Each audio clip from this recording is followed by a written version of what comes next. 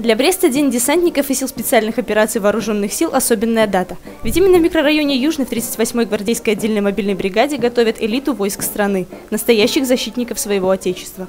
За долгое время существования через такую школу мужества прошли сотни белорусов разных поколений. Мы чтим и приумножаем эти традиции. И то, что было до нас сделано легендарными воздушно-десантными войсками, сейчас только все приумножается, чтится. Мы гордимся службой Сюда приходят здоровые, ну а далее мы с ними работаем, готовим их. И уже через полгода, даже сейчас вот военнослужащие, те, которые были призваны в мае месяце, они уже показывают какой-то результат и показывают свои навыки. Еще задолго до начала на площади собралось огромное количество людей – детей и взрослых, молодых и людей постарше.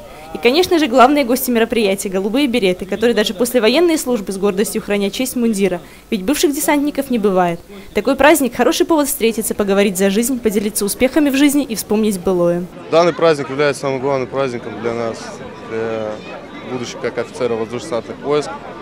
В данный момент находимся в отпуске, обучаемся в Российской Федерации приезжаем как поддержать традиции воздушно-десантных войск. Сегодня день воздушно-десантных войск.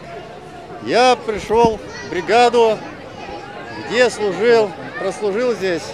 В бригаде мне приятно отмечать этот праздник каждый год Приятно, что такой праздник есть. По уже сложившейся хорошей традиции десантники и разведчики показали лучшие образцы своего особенного армейского искусства. Это и показательное выступление роты почетного караула в сопровождении военного оркестра Брестской военной комендатуры и комплекс рукопашного боя, а также эпизод захвата и уничтожения объекта противника. А прыжки с вертолета парашютистов подарили море положительных эмоций детям. Праздник стал ярким событием в жизни города.